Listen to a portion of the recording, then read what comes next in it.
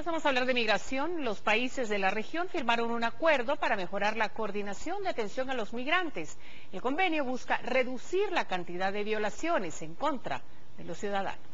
Las entidades de derechos humanos de Guatemala, México, El Salvador, Honduras y Nicaragua firmaron un acuerdo de cooperación que en los próximos tres meses permitirá hacer un diagnóstico de la situación migratoria de los países firmantes y luego, el próximo año, dar capacitaciones a las autoridades para reorientar las políticas públicas a favor de este sector. Las capacitaciones no irían solamente en esta lógica de sensibilizar y de de, capacitar en los principios de los derechos humanos, sino también en protocolos de actuación que sean efectivos para que, para, que dejen o para que si están realizando una, una actuación indebida, dejen de realizarla.